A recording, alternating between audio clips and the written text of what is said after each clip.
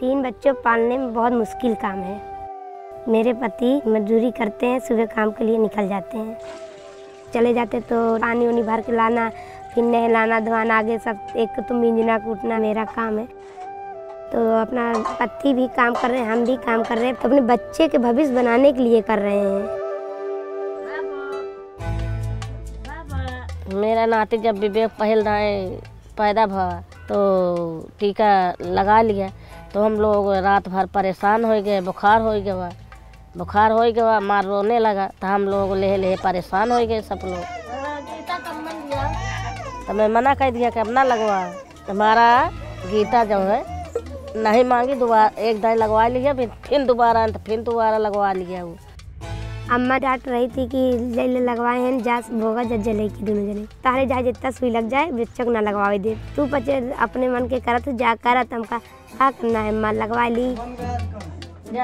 हाँ तो अपने बेटवा भी डांटी तो हमने उनके अपने बाप, मम्मी के कहना मान लिए थे, कहीं अम्मा कहा थी, न लगवा तो हम कहा तो जाएँगे जाएँगे जाएँगे। आज समझल जाए, मारबई करा तू।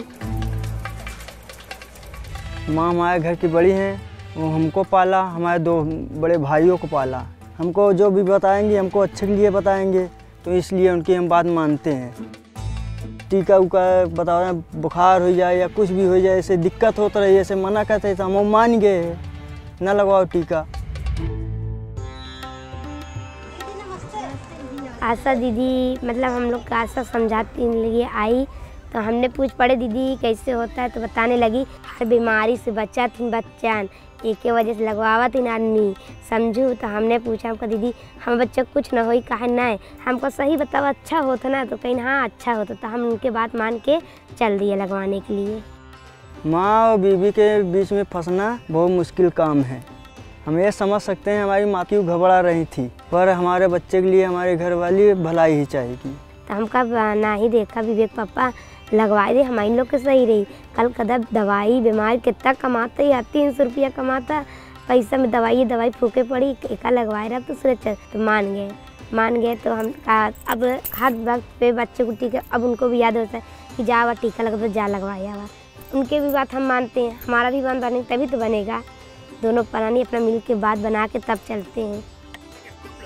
हमारे गाँव में सफल शुरुआत के प्रोग्राम हुआ था। दीदी लोग भी और भैया लोग भी आए थे। तो टीका वाला बताएँ कि टीका कैसे कौन कौन समय पे लगता है, कैसे लगता है? तो दो जेठानी है, उनको तो मना की थी। तो हम जहाँ का दीदी चला, टीका लगवाऊ, इसलिए हमारे बच्चा के सुरक्षित के लिए। समझ नहीं आवा तो तारे, इन दोनों जेठानी दोनों दोरानी गए लगवाना दूसरे भी लोग करने लगे तो उनके भी बच्चा सुरक्षित।